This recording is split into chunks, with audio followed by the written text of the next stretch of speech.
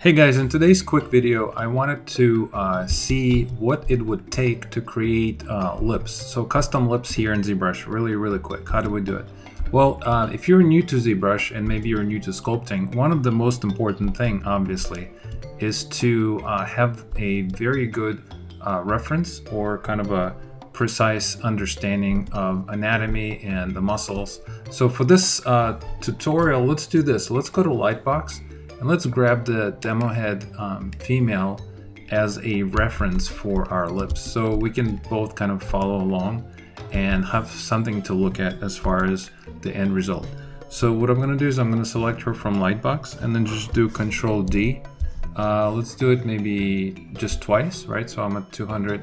I'm on level 3 actually on subdivision level. And the next thing I'm going to do is I'm going to go to Subtools and append a sphere. I'm gonna take this sphere, grab my move and just move it aside and maybe scale it down. Uh, the other thing that we want to do is make sure that you have your local symmetry turned on, which will allow us to sculpt on the sphere, right? Uh, next, let's do this. Let's make sure that the sphere layer is selected and let's subdivide this, Control D, uh, a couple times until you get something to like 500,000. So that would be subdivision level 4 let's just see if we can very quickly kind of replicate these lips on our own uh, sphere and that will allow us to obviously sculpt uh, lips on any other custom character that we do uh, in the future, right? All right, so how do you start? Um, I think the best way to do to do this is just grab something like the standard brush, make it kind of large. So in my case, um, I have it set to 144 and my intensity is gonna be, let's do something like 25. And I am going to press X on my keyboard to set my X symmetry. And I'm just simply going to make a, a, blob, just going back and forth two times. And you can even do a little more if you want, but just essentially just create kind of a flat blob, right? So you have something along these lines, right? All right, very nice. So once you have your blob, what would be the second step? The second step would be grab your Damien standard brush and set the intensity to something like 40 and as far as the size goes, uh, it doesn't really matter. I think I'll set my brush to around 50. All right. And uh, again, if your local symmetry is on and your active symmetry is on, you should see, uh, you should be able to see two points. And now what we can do is you can just simply drag from the center a shape that kind of resembles uh, lips in this reference, right? So you have something like that. All right, let's, uh, next let's define the bottom lip. So I'm gonna dial my uh, Damien standard brush down to 20, holding down the Alt key. Draw something like the, along these lines. You can hold on the Shift key and smooth this out if you wanted to. Um, also, if you hold on the Shift key, you can control the Z intensity. So maybe uh, you don't want it to be all the way at 100%. Maybe uh, we can do something a little more gradual. I'm gonna switch, uh, set mine to 30, okay?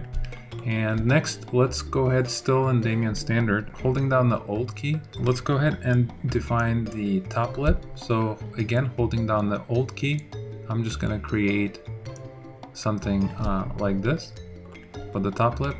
If you are having uh, any points that you're not happy with, again, hold on the Shift key and just smooth them out a little bit, that's fine.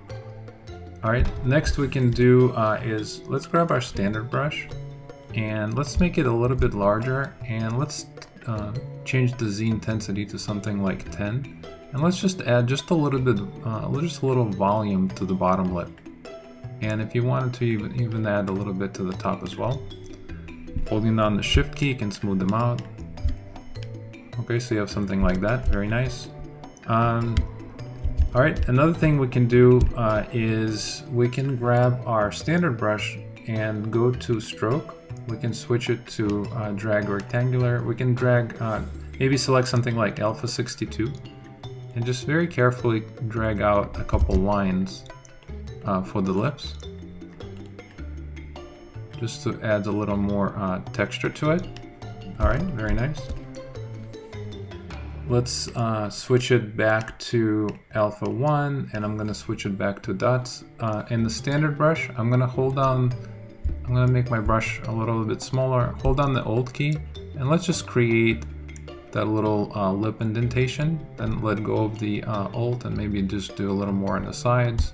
Holding down the Shift key, just kind of smooth, smooth it out. All right, very nice.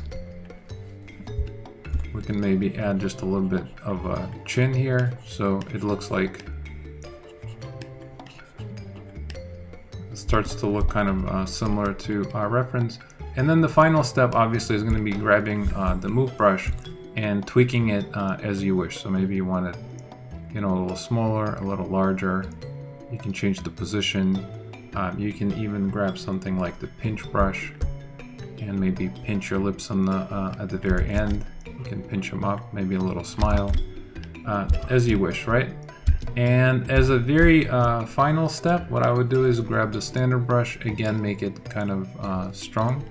And let's just redefine, now since we've been sculpting and uh, smoothing, uh, kind of redefine that